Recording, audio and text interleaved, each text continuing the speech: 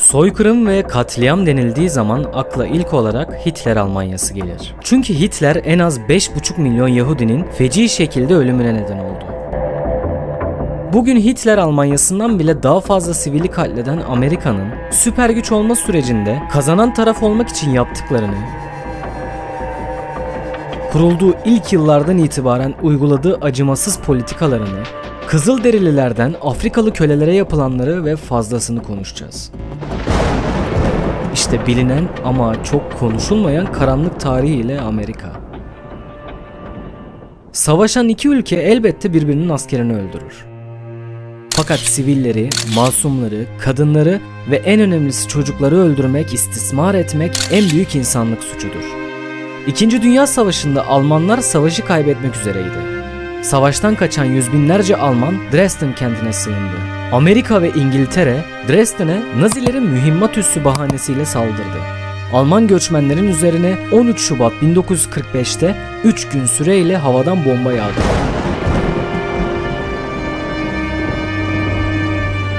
Bu saldırıda fosfor bombası kullanıldı. Bu bomba hava ile temas ettiğinde alev alma özelliğine sahip. Üzerine su döküldüğünde ise sönmek yerine daha fazla alevleniyor. Alevlerden kaçmak neredeyse imkansız. Ayrıca yoğun miktarda duman oluşturuyor. Dumanın solunması durumunda ise ciğerlerde ani hasar meydana getirip kişinin acı içinde ölmesine neden oluyor. Yani alevlerden kaçabilenlere de dumanlar bekliyor. 3 günlük bombardıman sırasında Dresden'deki yüz binlerce sivilin üzerine tam 4000 ton bomba atıldı. Saldırının sadece ilk 25 dakikasında İngiliz uçakları 1800 ton bomba attı. Devasa alevler oluştu. İnsanlar alevlerden kaçarken öldü. Yangın fırtınası her yerdeydi. Görgü tanığı Margaret bebeğiyle birlikte kaçan bir kadını şöyle anlatıyor. Kaçıyordu ve düştü. Bebek elinden fırlayıp ateşe doğru uçtu. Kadın yerde yatıyordu. Tamamen hareketsizdi. Saldırı öncesinde 28.410 olan bina sayısı 2000 civarına kadar düştü. Toplamda resmi rakamlara göre 25 bin, Nazilere göre ise 200 bin sivil öldü. Hangi rakamın doğru olduğu ve yapılan saldırının savaş suçu olup olmadığı hala tartışma konusu. Tarihler 1945 yılını gösterdiğinde Japonya'ya diz çöktürmeyi başaramayan Amerika, dünya tarihinin belki de en büyük vahşetine neden oldu. Hiroşima ve Nagasaki'ye atom bombası attı. Dönemin ABD Başkanı Harry Truman bile bu katliamı tarihin en büyük olayı diye yorumladı. 6 Ağustos 1945'te Hiroşima'ya attığı atom bombasıyla 140 bin kişi anında öldü. Sadece 3 gün sonra Nagasaki'ye ikinci atom bombası atıldı. 80 bin kişiyi öldürdü. O anlara tanık olanlardan biri gördüklerini şöyle anlatıyor. Sanki güneş gözlerimin önünde yere düşmüştü. Sonradan eklenenlerle birlikte 350 bin insan hayatını kaybetti. Bugün bile insanlar sakat doğmaya devam ediyor. Amerika'yı keşfeden Kristof Kolomb seyir günlüğünde Kızılderililerden şöyle bahsediyor. Onlara kılıçlarımızı gösterdik. Keskin demir silahları ilk kez gördükleri belli. Bazıları kılıçların keskin tarafını tutunca ellerini kesti. Bu insanlar ne bir dine bağlılar ne de putlara tapıyorlar. Kötülüğü tanımıyorlar. Birbirlerini öldürmeyi bilmiyorlar. Hiç silahları yok. Kızılderililer son derece sade, dürüst ve cömert insanlar. Herhangi birinden sahip olduğu bir şey istenince hemen veriyorlar. Komşularını kendileri kadar çok seviyorlar. 50 adamla bu halkın hepsini boyunduruk altına alabilir ve onlara her istediğimizi yaptırabiliriz. Kolomb'un kıtayı keşfetmesinden itibaren geçen süreçlerde 70 milyon Kızılderili kadın, çocuk, yaşlı katledildi. ABD resmi makamları Kızılderili kellesi başına 5 dolar ödeyeceğini duyurdu. Bu 5 doları bugünkü 5 dolarla kıyaslamayın. İnsanları öldürmeye teşvik edecek kadar büyük bir miktarda. Devlete ait binaların bodrum katları Kızılderili kafataslarıyla doludur. Kızılderililerin başlıca besin kaynağı bizonlardı.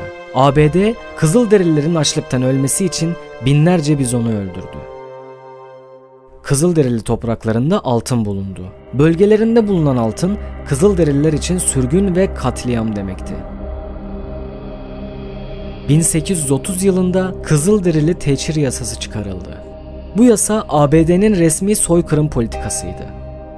ABD ordusu 1838'de Cherokee'leri esir kamplarına topladı. Batıya doğru zorunlu göçe tabi tuttu. Gitmek istemeyenler öldürüldü.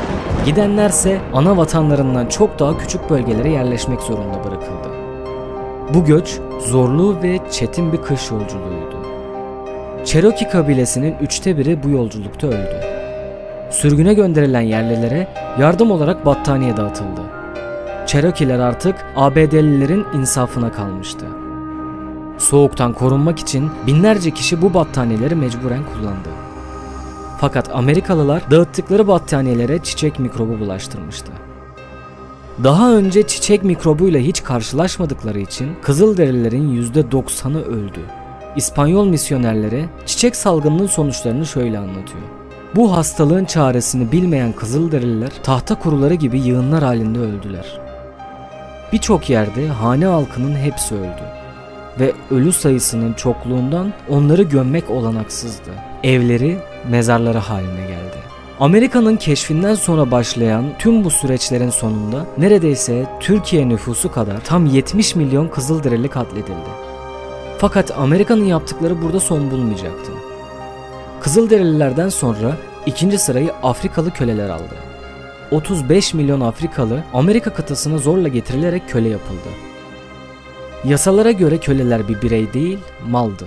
Yani alınıp satılabilir ve devredilebilirdi. Çok zor şartlarda uzun süre çalıştırılan bu insanların hiçbir hakkı yoktu. Üzerlerine uygulanan fiziksel ve psikolojik şiddet had safhadaydı. Öyle ki 1850'de bir yayın kuruluşu köle sahiplerine ideal köle nasıl elde edilebileceğine dair bir kitapçık bile yayınladı. Bu kitapçıktaki bazı tavsiyeler şöyleydi. Kölelerinizi en basit suçlardan bile ağır şekilde herkesin önünde cezalandırın. Onları yerlerini bilmeleri için sık sık aşağılayın. Hakaret edin. Katı disiplin kurallarını gevşetmeyin. Kölelerinizin zihnine korku salın. Köle sahipleri kanunen her türlü duruma karşı korunuyordu. Kölelerin ise insan olarak görünmedikleri için hiçbir hakkı yoktu. Beyaz biri herhangi bir nedenle köle öldürürse en fazla para cezasına çarptırılırdı. Bir köle ise saldırıya dahi uğramış olsa beyaz bir insana vuramazdı. Beyazlara şiddet uygulayanlar öldürülürdü. Bir köle kaçmaya çalışırsa cezası ölümdü. Bu ceza çoğu zaman diğer kölelerin önünde uygulanırdı. Kölelere birçok ceza çeşidi uygulandı. Kulak kesme, burun kesme, hadım etme ve kırbaçlanma başlıcalarıydı. Sırf eğlence amaçlı birçok insan öldürüldü.